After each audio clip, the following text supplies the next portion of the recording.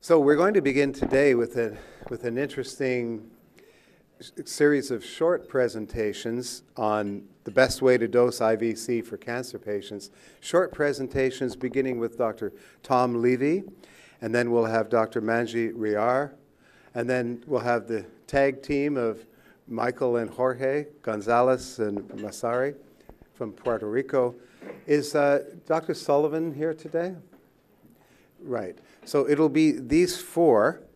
They'll each give a short presentation, 10 minutes, and then we'll convene on the stage for a panel discussion with all of us. And we'll have, so keep your questions, uh, prepare your questions while the presentations are being given. And we'll begin now with um, Dr. Tom Levy. Thank you. I just want to put in my two bits worth about IVC and vitamin C. Uh, I think just about everybody in this room uh, has already been doing this for some time, or, or, even if you're not specializing in cancer, you're giving IVC in a lot of other situations. And I want to add a few of my thoughts and my experience and my observations that will hopefully uh, help you provide even a better treatment and experience for your patients down the road.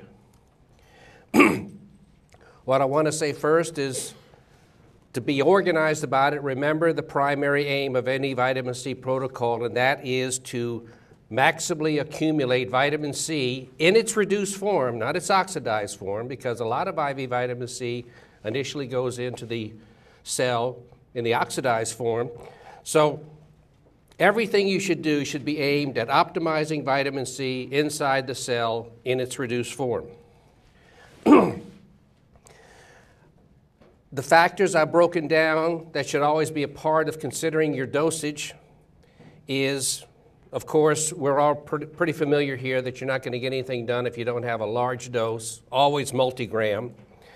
Uh, the route, we have now have a lot of options to augment the IVC, uh, liposome and regular, and I'll touch briefly on that. Rate, okay, how fast do you go? Frequency, how often do you go? One thing I just recently discovered going through Dr. Klenner's original work, uh, not in cancer per se, but in a lot of other infectious diseases, uh, because I found that although we get really good results these days, it's not as good as Dr. Klenner's results. And then I realized everybody today, because you can't give it in a hospital yet, you got to give it in your office. So Klenner would see these patients and either give them IM injections or if they're in the hospital, he'd be giving them something every three, four, six, eight hours. Well, that's going to be profoundly more effective than giving somebody even 50 75, 100 grams, and not getting back to them for a couple days or even getting back to them 24 hours later. So, frequency is very important, at least in infectious diseases, but you'll see it's important in cancer patients as well. Duration, type, uh, always for long term health, avoid calcium administration. That's a whole another long story. Adjunct therapies, I think we're realizing that really vitamin C augments all other therapies, and the only time it would be, quote, contraindicated would be if you're trying to deliver another pro-oxidant substance to the cancer cell, you don't want the vitamin C in the bloodstream at the same time that substance is in the bloodstream, or the vitamin C will reliably neutralize it. Okay, so to that degree, vitamin C would be, quote, contraindicated if you're giving any other chemotherapy or pro-oxidant therapy that you're targeting for the cell. However you work it, just don't have it circulating in the blood at the same time the vitamin C is. Then I'll add this thought. Uh, we see a lot of success. We see occasional failure. Uh, we, we see case histories where somebody is responding positively, but maybe their blood work's not normalizing. Uh, well, maybe you won't be able to normalize it, maybe you won't be able to cure it, but just remember all, really, I, I said almost all, but all. All clinical failures are all lesser clinical responses than what you see or want are virtually all due to ultimately inadequate vitamin C delivery to the tissues and inside the cells. So even if you get a positive response at 50 grams, don't think that you're not going to get a much more positive response at 100 or 150. For most cancer patients, the dose is important because you want to get the vitamin C inside the cell in high amounts. Uh, so if you're going to take an equivalent amount of vitamin C, let's say you got 100 grams to give to the cancer patient, what are you going to do the most good with? Give it all at once or give four 25 gram infusions on four consecutive days? I would submit to you 100 grams all at once is going to give you the most clinical uh, impact for that given quantity of vitamin C. In all of this, I'll expound a little bit more on this. The whole point is to upregulate the Fenton reaction inside the cancer cell as much as possible. Fenton reaction, in a nutshell, is cancer cells have abnormally high levels of hydrogen peroxide in them because they have abnormally low to absent levels of catalase. So they're basically a little sitting time bomb waiting for you to explode their hydrogen peroxide into hydroxyl radical, which is the most oxidative substance on the planet, ergo, the most toxic substance on the planet, ergo, the best thing to lyse a cell. So, and what do you do to lyse that hydrogen peroxide? Cancer cells, as well as microorganisms, pathogens, accumulate reactive iron. and so you have ferric iron, hydrogen peroxide, and we have to find some way to get an electron into the hydrogen peroxide. Well, vitamin C just chemically cannot contribute an electron directly to hydrogen peroxide, but it can contribute it to ferric iron, makes the ferric iron ferrous iron, and then the ferrous iron can give that electron to vitamin C. The vitamin C uh, chemically lyses into hydroxide and hydroxyl radical. The hydroxide just goes on to become water and the hydroxyl radical does its job. So, the Fenton reaction, you need reactive iron, you need hydrogen peroxide, and you need something, of which vitamin C is one thing, to contribute the electron to the ferric ion. Okay. Talk about that in a second. Now, rate is important. And a lot of times, rate is going to be a really important distinguishing feature as to whether or not your vitamin C infusion is going to be clinically successful in your cancer patient. And I think a lot of failures or suboptimal responses are due to you have a patient, you've given him vitamin C, and let's say you've given him 75 grams and he's felt lousy and so you back off and give him 50 grams and he feels better. He feels okay. Well, it's true you don't want to make the patient feel lousy, but you're not getting to the point where you're getting the maximal therapeutic effect if you back off. And I have found, worked with, discovered, whatever you want to say, uh, a way to get around this. It's the mop up vitamin C infusion. Now, uh, I'm not promoting my book, but I just I don't have a lot of time to talk here. I talk about the mechanism of how vitamin C works in primal panacea. And the concept there is if you not only have your head wrapped around this, wrap around it now. All toxins are oxidants. That's how they exert their toxicity.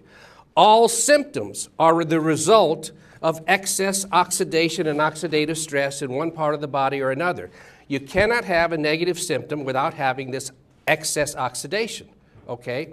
Now, this means that whether it's a Herxheimer reaction, whether it's a detox reaction, whether it's cancer cells lysing and releasing large amounts of free iron and other uh, debris, if you will, into the bloodstream, all of it is caused by an increased oxidative effect. Well, paradoxically, and believe me, it works like a charm. Your, your, your patients are going to love you.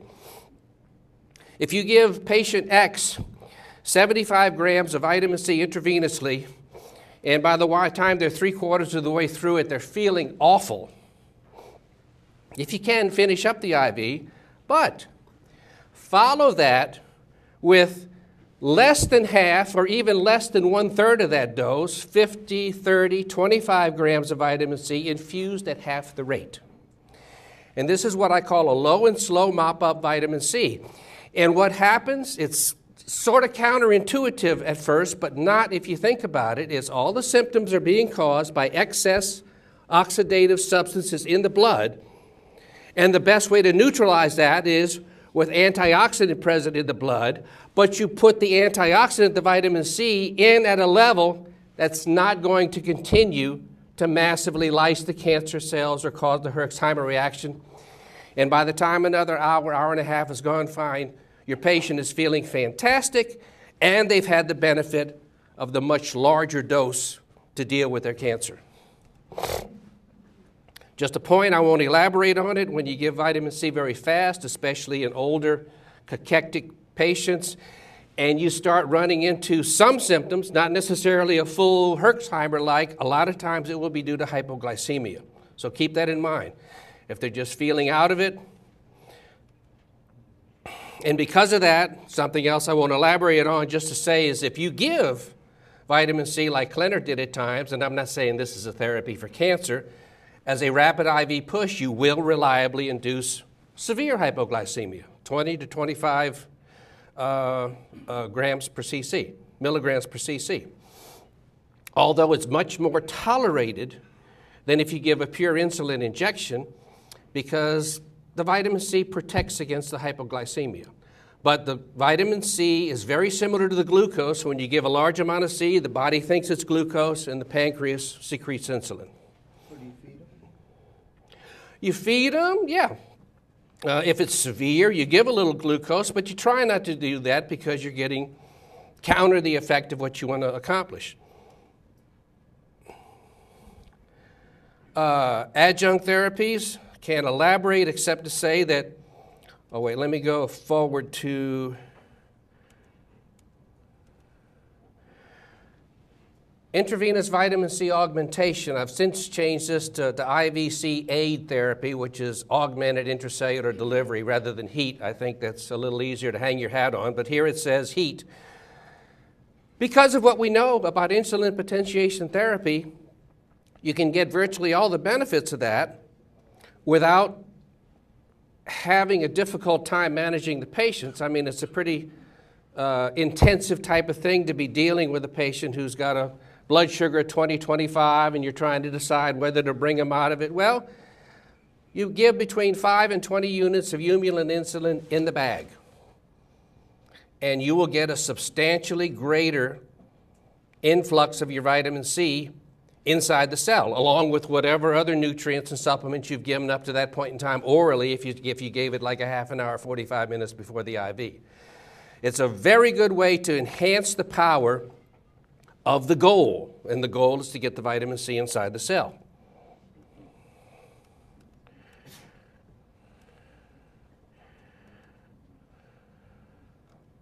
Okay, so then uh, let me just say that finally, what I call the multi C protocol. And Klenner talked a lot about this, but we as a group, to my observation, have not done it that much. And we're uh, avoiding a very potent and simple way, again, to augment the power of our vitamin C therapy, which is to give as many different forms of vitamin C as possible. Nobody with cancer should not be receiving should not be receiving oral liposome encapsulated as well. An enormous pullback on cancer patients is not dealing with their ongoing toxins. So I won't get into dental toxins right this, but I mean, I think most of you know the dental toxins need to come out. But why is that? That's because the toxins are pro-oxidant. And as Dr. Huggins used to say, dealing with this is like trying to dry off while you're still in the shower. So you have to approach them from both ends. Bring the antioxidants up for the cancer cell, bring the ongoing toxin exposures down. And something that's very not much addressed, and I would submit it to you for your patients that can tolerate it, you should routinely have them doing a vitamin C flush at least once a week. Not, on, not, and not primarily because you're wanting to deliver more vitamin C, but you're preventing an enormous amount of toxicity from ever getting into their body to begin with. It's sort of what I call reverse bulimia. Okay? Ascorbyl palmitate is fat soluble, it's good to add. And uh, I just mentioned uh, the IV with the augmentation. So, then in a nutshell, what I say is remember the goal is to get as much vitamin C inside the cell as possible. You try to augment all the factors that ramp up the presence of all three elements of the Fenton reaction inside the cell. And that's how traditional chemotherapy works as well. The problem with traditional chemotherapy is it, it poisons normal cells as well, which vitamin C doesn't do because normal cells have normal levels of catalase and virtually no peroxide. So you can't activate the Fenton reaction uh, in a lethal way inside a normal cell. So, in a nutshell, multi C protocol, IV vitamin C augmented with insulin, and and push it as hard as you can because you know you have the mop up vitamin C to keep your uh, brittle and uh, symptomatic patients from, from feeling awful and not coming back to see you. Okay. Okay, thank you. Okay.